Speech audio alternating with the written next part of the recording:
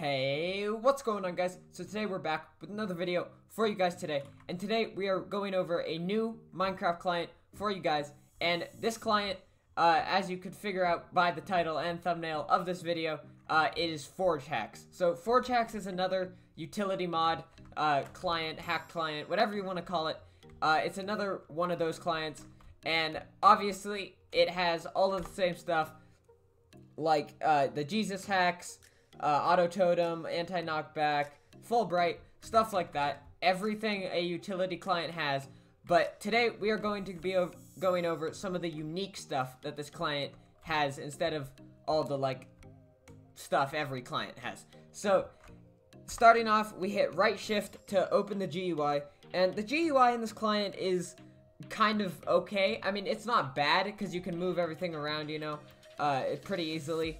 It's just a little cluttered, obviously, just because I have everything open. But uh, you cannot change the color from what I know. So I think it's just gray all the time. And you can't move the, like, thing on this side. Like the tick rate stuff and the, uh, like, active module things you have on. You can get rid of the coordinates, though, if you want.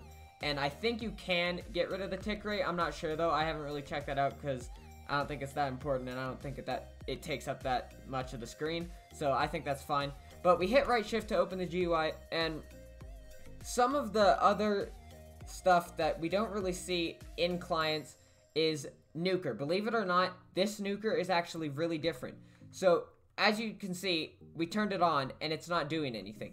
That's because this nuker is actually like helpful and you can actually use this in like anarchy servers or stuff like that. So once you have nuker on, you want to middle click the button.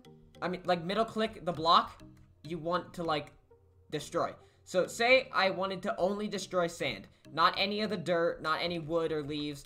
I just want to destroy sand. So I'd middle click that and it would only destroy sand. So if I was over here, it would destroy the sand over here.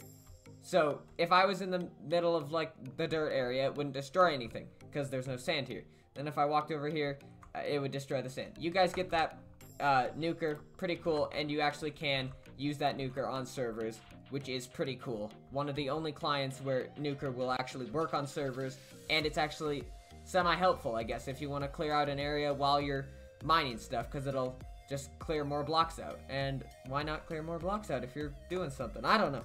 It seems helpful, but that's the nuker for this client. Moving on, we have the... Uh, I gotta find this. The chunk border right here. So, as you can see, this is... I, we're in a chunk right now.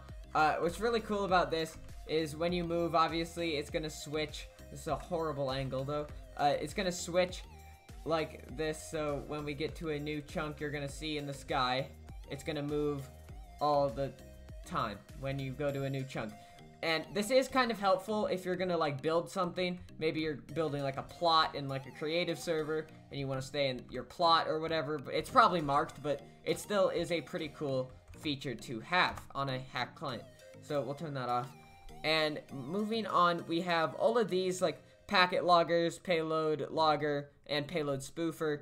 These will just pretty much like cancel packets sent by some mods so servers can't detect it, stuff like that.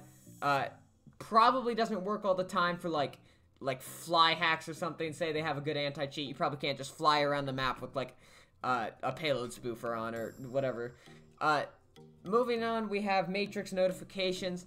I have no idea what this is. Like, if you guys have any idea what matrix notifications is, definitely let me know in the comments below because I am very curious to find out what Matrix Notifications is. I've never heard of that ever, but that is something very unique in this client, I think. I don't know what it does. Uh, map mod custom map images, so you can put, like, an image from your computer onto a Minecraft map, which is pretty cool as well, and I'm sure it would show up pixely and stuff like that. Map downloader, so if you put, if you built something in Minecraft and you put it on a map, you could save the map image from Minecraft onto your computer. And then the join message, if someone joins the message, uh, it will send like a custom message. FPS lock to like throttle your FPS pretty much.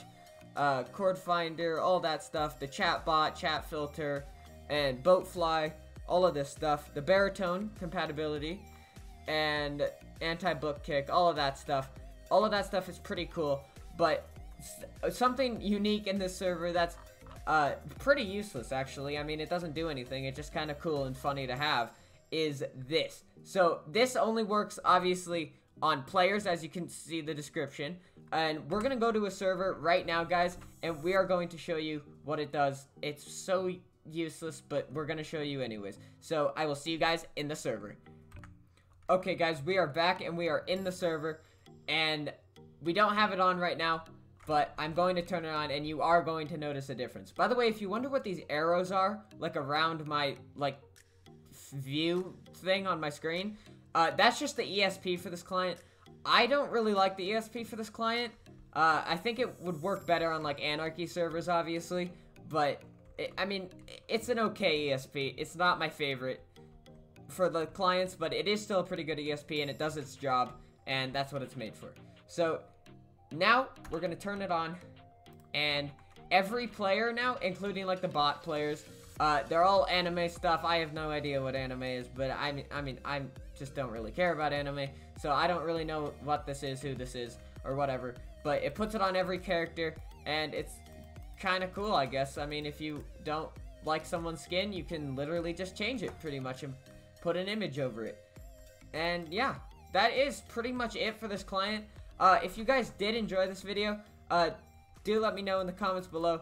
Make sure you leave a like and subscribe for more awesome content. And I will see you guys in the next one. See you later, guys.